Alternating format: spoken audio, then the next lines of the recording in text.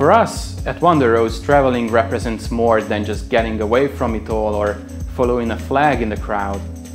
Traveling is really about broadening our horizons. It's about deepening our global understanding. Traveling is really a celebration of the amazing diversity that life has created on this planet. But mass tourism, however, doesn't really have the capacity to enable travelers to gain profound and lasting travel experiences.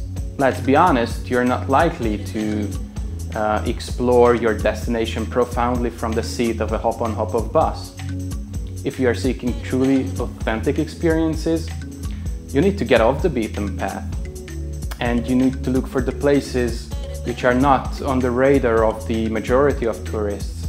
These are the places where you can blend with the local people and that's where it gets deeper and where it gets real. For example, I had a truly authentic travel experience uh, when we took our local cycling club to a training camp to Corsica last year.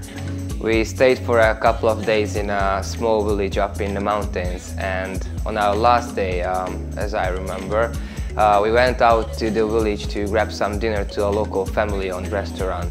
We were just about to start our main course when unexpectedly one of the waiters, uh, who by the way uh, later turned out uh, to be the son of the owner, uh, just grabbed the guitar off the wall which was uh, hanging there and started to play a local song.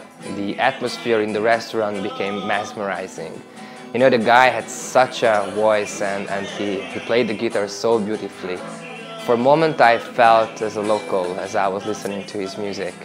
And, and that for us at WanderRoads uh, are the moments that we are searching for wherever we go. It is our main focus to fill our trips with these kind of experiences. Experiences that are not listed in any kind of guidebook. Well, partly we grew up in Budapest and the surrounding area, so we knew it like the palm of our hands. But of course we needed help during the trip designs. In Hungary, if you are in an unknown village and you need any kind of information, the best place to go is the kocsma. A kocsma is a type of pub, very typical in Hungary, where local people go to have a drink after or before work. People in Hungary are really helpful and warm-hearted, and they helped us tremendously. Even though we are 100% locals, we found such amazing places and attractions that are actually hidden from the mainstream travelers and you have to go deeper to truly gain these special experiences.